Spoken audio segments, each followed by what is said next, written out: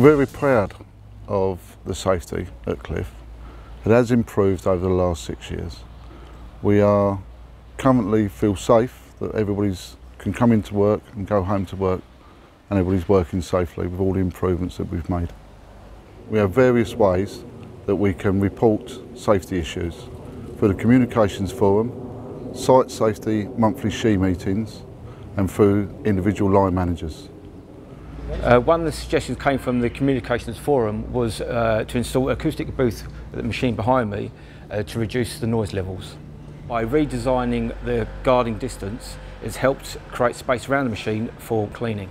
Site housekeeping was made a priority and we reorganised the whole of the site, from each factory out to the yard. Well, this is to make our lives a lot safer with, uh, in terms of vibration exposure. We have this React tag system now where we can put a meter, take the meter from here and put it on our tool and then we have a, a traffic light system on here to make sure that we don't have too much exposure throughout the day and we're using power tools. Uh, here on the cliff site we've got three factories, uh, Rakers 1, 2 and 3. Some of the improvements we've made are by painting the floors, uh, green for safe walkways, uh, red for forklifts and yellow for storage. We've also put in uh, lifting aids to minimise the use of forklift trucks within inside the factory. We're now working on uh, overhead platforms uh, with fall arrest systems for more non-routine jobs such as working on the Cuba. Since the meetings have been put in, the, uh, it's much more easier to uh, get ideas and to approach people to get things sorted out more quickly. Uh, it's become more transparent. All the employees feel part of the team and being able to contribute in whichever way they can.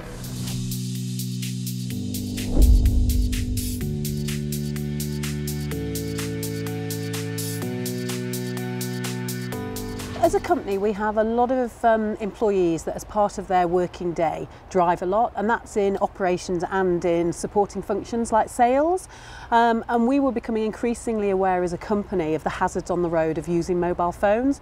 And even though it's not illegal to use a hands-free kit, um, we, were, we were conscious that we were still potentially putting employees at risk and other road users. So as an organisation we developed a standard around mobile phone use in cars and we set about putting together a comms plan to launch this on the 1st of January this year. Now ahead of that launch we felt it was really important that we didn't want this to be a compliance matter. We wanted employees to genuinely buy in to the safety and health reasons about not using mobile phones in cars. So it was really important for us to develop some communications material to get that message across. And we used some really hard hitting facts around the dangers of using um, mobile phones in cars. And equally, we used some very graphic videos. And there was some discussion around that. And I think some people felt, oh, is it going to be too hard hitting? But um, the feedback we got was that it really got the message across. We've also had external customers, external suppliers hearing about um, how we've implemented and come and asked us to share our experience and our materials, which is great. Um, we don't want to be complacent um, and we do recognise that some employees might still be struggling. So what we've done recently um, as a switch working group, we continue to meet on a monthly basis and we've um, issued a survey and in two weeks we've had over 450 responses so far, which again shows that people are passionate about the subject. And as part of that survey, we've asked for feedback about what has worked well for people, so that where we have got ideas and best practice ideas, we can share that. Um, and equally, if some people are still struggling, we can understand what those challenges are and we can support them to make sure that they um, feel safe and when they're on the roads, that they're not feeling that they're putting themselves and others at risk.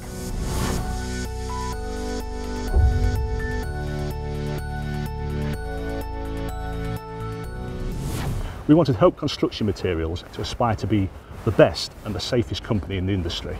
And to do that, we need to generate and create our own health and safety culture. Part of developing a health and safety culture and a strong health and safety culture is to have good leadership from the senior management team, but also to get involvement and engagement from the entire workforce. Our CEO invited all the directors and senior managers of the business to become advocates for safety, to inspire people and to lead by example and to do that by going out on site, visiting all our sites and promoting safe working. So last year, every one of our sites was visited by a director of the company and we did over 1,100 hours of visible felt safety leadership out on site. From my point of view, they're very, very worthwhile, not only from uh, my perspective, where I get to learn about the organisation as a whole, but also it demonstrates that we, uh, that we lead from the front um, and we, uh, we uh, walk the talk. Uh, we meet up with our teams, hear what they have to say, understand their concerns, and, uh, and empower them to put that right. Another key part of our developing a health and safety culture is to make sure that the workforce are fully involved. That's not just our direct employees, but all colleagues, service partners and our haulier population. What we'd like them to do is to intervene if they see unsafe conditions in their workplace and put those conditions right, or if they see people working in a way that puts their safety at risk, to intervene and protect them. And we call that welcome intervention, and it's something that we've rolled out across our business. To help get welcome intervention established and communicated across our business, some of the guys here at Hope Works produced a small short film that really explains what welcome intervention is about.